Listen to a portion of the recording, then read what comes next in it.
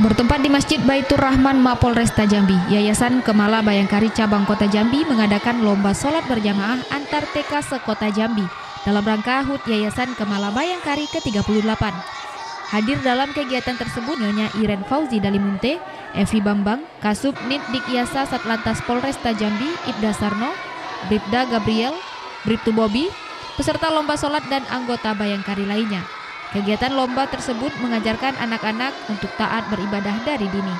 Ketua Yayasan Kemala Bayangkari Cabang Kota Jambi, Nyonya Iren Fauzi Dalimunte mengatakan, lomba sholat ini diadakan untuk anak-anak TK yang bertujuan untuk melatih kemandirian.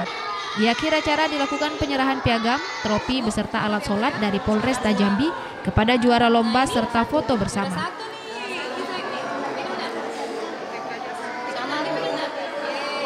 Saya selaku Ketua Yayasan Kemala Bayangkari Cabang Kota Jambi, kami sedang melaksanakan kegiatan mengadakan lomba sholat berjamaah antar TK se-Kota Jambi dalam rangka hari ulang tahun Yayasan Kemala Bayangkari ke-38 tahun 2017.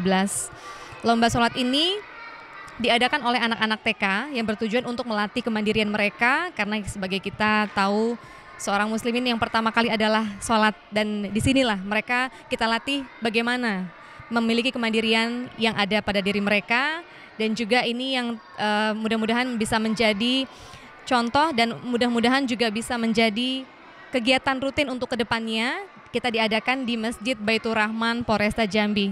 Dari Jambi, Peggy Novita Tribrata TV, salam Tribrata.